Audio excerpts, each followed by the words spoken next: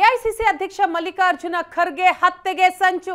ಬೆಂಗಳೂರಿನಲ್ಲಿ ಕಾಂಗ್ರೆಸ್ ನಾಯಕರಿಂದ ಗಂಭೀರ ಆರೋಪ. ಸುರ್ಜೇವಾಲಾ, ಪವನ್ ಖೇರಾ ಗಂಭೀರ ಆರೋಪವನ್ನ ಮಾಡ್ತಾ ಇದ್ದಾರೆ.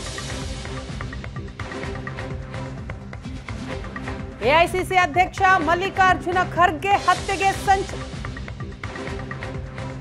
ಬೆಂಗಳೂರಿನಲ್ಲಿ ಕಾಂಗ್ರೆಸ್ ನಾಯಕರಿಂದ ಗಂಭೀರ ಆರೋಪ. ಸುರ್ಜೇವಾಲಾ ಹಾಗೂ ಪವನ್ ಖೇರಾ. ಗಂಭೀರ ಆರೋಪ. ಖರ್ಗೆ ಹೆಂಡತಿ ಮಕ್ಕಳನ್ನ ಮುಗಿಸ್ತೇನೆ ಅಂತ ಹೇಳಿದ್ದಾರೆ. ಚಿತ್ತಾಪುರ ಬಿಜೆಪಿ ಅಭ್ಯರ್ಥಿ ಮಣಿಕಂಠ ರಾಠೋಡ್ ಆಡಿಯೋ. ರಾಜ್ಯ ಉಸ್ತುವಾರಿ ಸುರ್ಜೇವಾಲಾ ಗಂಭೀರ ಆರೋಪವನ್ನ ಮಾಡಿದ್ದಾರೆ. ಬಿಜೆಪಿ ಅಭ್ಯರ್ಥಿ ಮಣಿಕಂಠ ಆಡಿಯೋ ಬಿಡುಗಡೆ. ಖರ್ಗೆ ಕುಟುಂಬದ ಬಗ್ಗೆ ಮಾತನಾಡಿದಂತಹ ಆಡಿಯೋ ಅದು. ಆ ಆಡಿಯೋ ರಿಲೀಸ್. ರವಿ ಎಂಬ ವ್ಯಕ್ತಿಯ ಜೊತೆ ರಾಠೋಡ್ ಸಂಭಾಷಣೆ ನಡೆಸಿರುವಂತಹ ಆಡಿಯೋ ಅದು. ಖರ್ಗೆ ಅವರ ಕುಟುಂಬ ಆತಂಕದಲ್ಲಿದೆ ಅಂತ ಹೇಳ್ತಾರೆ ಸುರ್ಜೇವಾಲಾ ಪವನ್ ಖೇರ. ಮಲ್ಲಿಕಾರ್ಜುನ ಖರ್ಗೆ ಅವರ ಪತ್ನಿ ಹಾಗೂ ಮಕ್ಕಳನ್ನ ಮುಗಿಸ್ತೇನೆ ಅಂತ ಹೇಳಿದ್ದಾರೆ. ಚಿತ್ತಾಪುರ ಬಿಜೆಪಿ ಅಭ್ಯರ್ಥಿ ಮಣಿಕಂಠ ರಾಠೋಡ್. ಹಾಗಾದ್ರೆ ಆ ಆಡಿಯೋದಲ್ಲಿ ಏನಿದೆ ಅನ್ನೋದನ್ನ ಮೊದಲಿಗೆ ಕೇಳಿ. ಅಲ್ಲಣ್ಣ ಮತ್ತೆ ಮತ್ತೆ ಎಷ್ಟು ಕೇಸ್ ಅದ ಹೇಳಣ್ಣ ಏ ಯಾವ ಬೋಸಡಿ ಮಗ ಅಂದ್ರಲ್ಲ ಕಾಂಗ್ರೆಸ್ ಅವ ಕೇಳಲಿ ಅವನ್ಗ. ನಲ್ವತ್ನಾಲ್ಕು ಕೇಸ್ ಲೀಸ್ಕೊಳ ಅಂತ ಕೇಳತ್ತಂದ ಮಣಿಕಂಠರ ಆಡೋಣ ಅಂತ ಹೇಳಿ ಅಣ್ಣ ಖರ್ಗೆ ಕಡೆಯವ್ರೆ ಮಾಡ್ತಾರಣ್ಣ ಅದನ್ನ ನಾವ್ಯಾರು ಮಾಡಲ್ಲ? ಖರ್ಗೆ ಕಡಿಲಿ ಅಂತ ಕೇಳಲಿ. ಅಣ್ಣ ಅವ್ರೆಲ್ಲ ಕನ್ನಡ ಫೋನ್ ನಂಬರ್ ಕೊಡೋಣ ಅವ್ರು ಯಾರ್ದು ಫೋನ್ ನಂಬರ್ ಎಲ್ಲ ಕೇಳೋಣ ಅಂತಂದ್ರ. ನಾನು ನಿಮ್ಮ ಅಭಿಮಾನ ಇದ್ದೀನಿ ಅವ್ರಿಗೆ ಕೇಳ್ತೇನೆ ನಿಮಗೆ ನಮ್ಮ ಅಣ್ಣನ ಬಗ್ಗೆ ಯಾಕೆ ಹಿಂಗೆ ಮಾತಾಡ್ತೀರಿ ಅಂತಂದು. ನನ್ನ ಬಲ್ಲಿ ಫೋನ್ ನಂಬರ್ ಇದ್ರೆ ಅವ್ರ ಎಲ್ಲಾ ಹೆಂಡ್ರು ಮಕ್ಕಳು ಎಲ್ಲಾ ಸೇವಾ ಶಾಪ್ ಮಾಡ್ತೀನಿ ಅದಕ್ಕೆ ನನ್ನ ಬಳಿ ನಂಬರ್ ಇಲ್ಲಲೇ. ಯಾರು ಯಾರ ಹೆಂಡ್ರ ಮಕ್ಕಳಣ್ಣ ನೀ ಯಾರ ಹೆಸರು ತಗೊಂಡಿ ಈಗ? ನಾನು ಖರ್ಗೆ ಅವ್ರದಣ್ಣ ನನ್ನ ಬಳಿ ಫೋನ್ ನಂಬರ್ ಇದ್ರೆ ಅವ್ರ ಎಲ್ಲಾ ಹೆಂಡ್ರ ಮಕ್ಕಳು ಎಲ್ಲಾ ಸೇವಾ ಶಾಪ್ ಮಾಡ್ತೀನಿ ಅದಕ್ಕೆ ನನ್ನ ಬಳಿ ನಂಬರ್ ಇಲ್ಲ ಲೇ. ಖರ್ಗೆ ಅವ್ರದ್ ನಂಬರ್ ಇದ್ರೆ ನಾ ಬಾಯಿಗೆ ಬಂದಾಗ ಬಂದಾಗ ಬೈತಿದ್ದೆ ಲೇ ಅಂತ ಹೇಳತ್ತೀನಿ ನನಗ. ಕಾಂಗ್ರೆಸ್ ಅವ್ರು ಬೈಯಣ ಅಣ್ಣ. ಇನ್ನು ಇನ್ನು ಬೈಯಣ ಈ ಬಗ್ಗೆ ಮತ್ತಷ್ಟು ಮಾಹಿತಿಯನ್ನ ಕೊಡ್ತಾರೆ ನಮ್ಮ ಪ್ರತಿನಿಧಿ ಮಾರುತೇಶ್. ಇದೀಗ ನಮ್ಮ ಜೊತೆ ಸಂಪರ್ಕದಲ್ಲಿದ್ದಾರೆ ಮಾರುತೇಶ್ ಎಐಸಿಸಿ ಅಧ್ಯಕ್ಷ ಮಲ್ಲಿಕಾರ್ಜುನ ಖರ್ಗೆ ಹಾಗೂ ಕುಟುಂಬಸ್ಥರ ಹತ್ಯೆಗೆ ಸಂಚು ಆರೋಪ. ಅದು ಕೂಡ ಕಾಂಗ್ರೆಸ್ ನಾಯಕರು ಮಾಡ್ತಾ ಇರುವಂತಹ ಗಂಭೀರ ಆರೋಪ. ಏನ್ ಹೇಳ್ತಾ ಇದ್ದಾರೆ?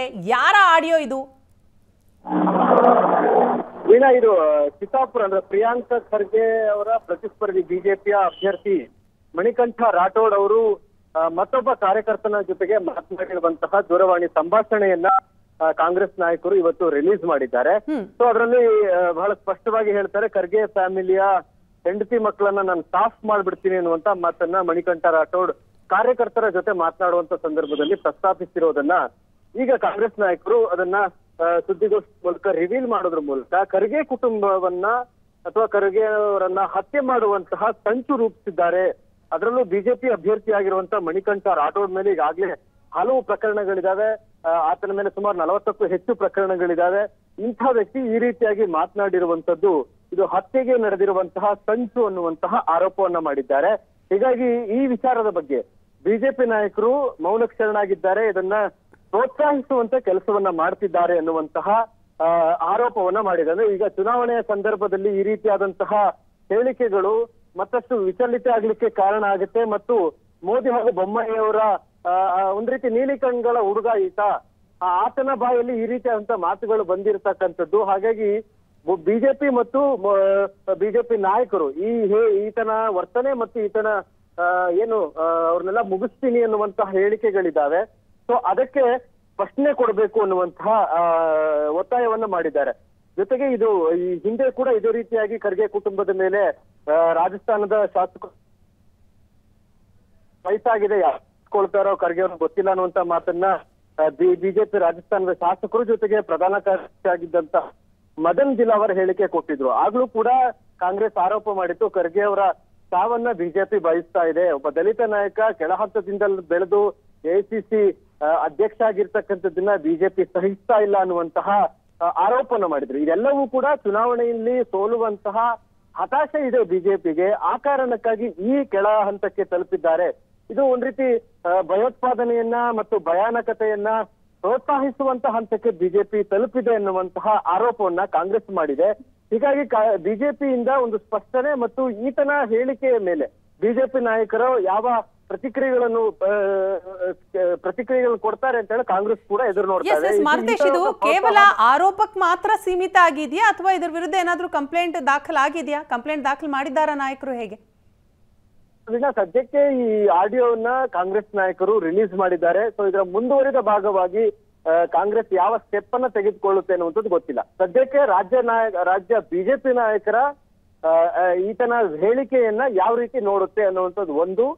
ಬಿಜೆಪಿ ನಾಯಕರು ಈತನ ವರ್ತನೆ ಬಗ್ಗೆ ಏನು ಪ್ರತಿಕ್ರಿಯಿಸ್ತಾರೆ ಅನ್ನೋದು. ಸೊ ಇದರ ಮೇಲೆ ಕಾಂಗ್ರೆಸ್ನ ಮುಂದಿನ ನಡೆ ನಿಂತಿದೆ. ಅಂದ್ರೆ ಯಾಕಂದ್ರೆ ಈತನ ಮೇಲೆ ಟಿಕೆಟ್ ಕೊಡುವಂತ ಸಂದರ್ಭದಲ್ಲೂ ಕೂಡ ಟಿಕೆಟ್ ಕೊಟ್ಟಾಗ್ಲೂ ಕೂಡ ಕಾಂಗ್ರೆಸ್ ಆರೋಪ ಮಾಡಿತ್ತು. ಒಬ್ಬ ರೌಡಿ ಶೀಟರ್ಗೆ ಟಿಕೆಟ್ ಕೊಡ್ತಾರೆ ಅನ್ನುವಂತ ಆರೋಪವನ್ನು ಮಾಡಿತ್ತು. ಜೊತೆಗೆ ಮೋದಿಯವರು ಅಲ್ಲಿ ಪ್ರಚಾರಕ್ಕೆ ಹೋಗುವಂತದಿತ್ತು ಕೊನೆ ಹಂತದಲ್ಲಿ ಈ ಪ್ರತಿರೋಧ ವ್ಯಕ್ತ ಆಗುತ್ತೆ ಅನ್ನೋ ಕಾರಣಕ್ಕಾಗಿ ಅಲ್ಲಿ ಆಗುವಂತಹ ಸಮಾವೇಶವನ್ನು ಕೂಡ ರದ್ದುಗೊಳಿಸಲಾಯಿತು. ಸೊ ಇಂಥ ವ್ಯಕ್ತಿ ಈಗ ಇನ್ನೂ ಒಂದು ಹಂತಕ್ಕೆ ಹೋಗಿದ್ದಾನೆ. ಚುನಾವಣೆಯಲ್ಲಿ ಈ ರೀತಿಯಂತ ಬೆದರಿಕೆ ಪಾಲಿಟಿಕ್ಸ್ ಇನ್ನೊಬ್ಬರನ್ನ ಹತ್ಯೆ ಮಾಡ್ತೀವಿ ಅನ್ನುವಂತಹ ಹೇಳಿಕೆಗಳು ಚುನಾವಣೆ ಮೇಲೆ ಪರಿಣಾಮ ಬೀರುತ್ತೆ ಅನ್ನುವಂತಹ ಆರೋಪವನ್ನು ಮಾಡಿದ್ದಾರೆ. ಹಾಗಾಗಿ ರಾಜ್ಯ ಬಿಜೆಪಿ ನಾಯಕರ ಉತ್ತರವನ್ನ ಬಯಸ್ತಾ ಇದ್ದಾರೆ. ಜೊತೆಗೆ ಮುಂದಿನ ಹಂತಗಳಲ್ಲಿ ಕಾನೂನಾತ್ಮಕವಾಗಿ ಹೋರಾಟವನ್ನ ಮಾಡೋದಕ್ಕೂ ಕೂಡ ಕಾಂಗ್ರೆಸ್ ಪ್ಲಾನ್ ಮಾಡಿಕೊಂಡಿದೆ Veena. Yes yes thank you Marthesh ತಮ್ಮ ಮಾಹಿತಿಗಾಗಿ.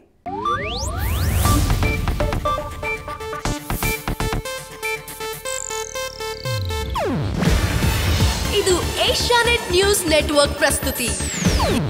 ನೀವು ನೋಡ್ತಿದ್ದೀರಾ ಏಷ್ಯಾ ನೆಟ್ ಸುವರ್ಣ ನ್ಯೂಸ್.